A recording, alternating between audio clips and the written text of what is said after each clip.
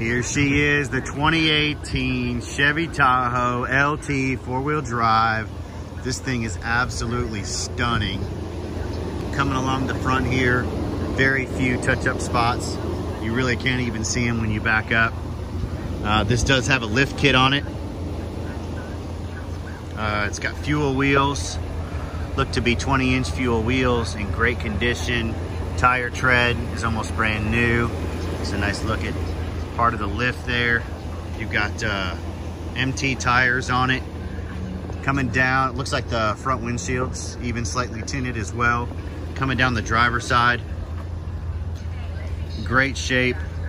Couple small little scuffs. It's black. It's gonna show everything. Little spot there on the mirror. Other than that though, when you back up, it, it definitely goes away. You really can't look, notice it. It's a good look underneath. Again, super clean underneath. Coming around the back. Backside's in great shape. It's not beat up or anything like that. Tail lights are in good shape. No cracks or anything like that. Coming along the passenger side, free of any door dings. I mean, it's super, super clean. Really, really, really sharp ride. Come along to the inside here. You've got the Bose audio, memory seats.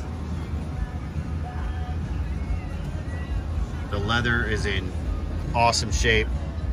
This thing is, like I said, four-wheel drive, does have the trailer brake, does have the uh, lane keeping assist system and the parking sensor. It's only got 60,000 miles. Navigation, it's got heated seats. Nice center console. No wear and tear for like the elbow space. This does also have a sunroof. It's got rear entertainment. Super, super nice. Second row, captain's chairs. Triple climate zone. Of course, you're already familiar because you've got Tahoes or you've had one before.